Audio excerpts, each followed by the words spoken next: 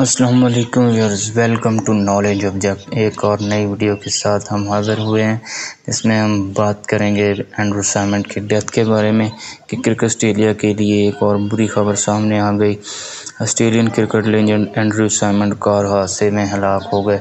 ये इस साल में दूसरी क्रिकेटर की मौत है, जो कि पहले शेन वॉन की न्यूज़ हमने अपने चैनल पे अपलोड की थी और अब एंड्रू साइमंड एक कार हादसे में जम बहक हो गए हैं। अमरीकी मीडिया के मुताबिक सबका क्रिकेटर एंड्रू साइमंड की कार को हादसा टाउनविल के करीब पेश आया।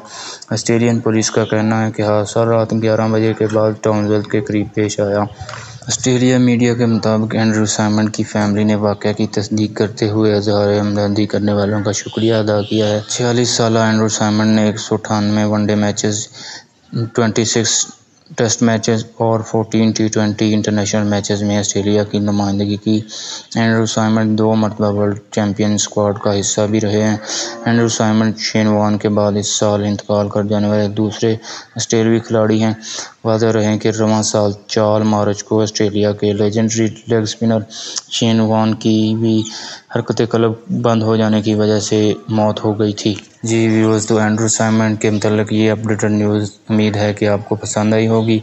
मज़ीद इस तरह की इनोवेटिव और स्पोर्ट्स से मतलब अपडेटेड न्यूज़ को देखने के लिए हमारे चैनल को फॉलो करें, हमारे चैनल को सब वीडियो को लाइक करें कमेंट करें और बेल आइकन को लाजमी प्रेस करें ताकि नए आने वाली वीडियो आपको बर वक्त मिल सके।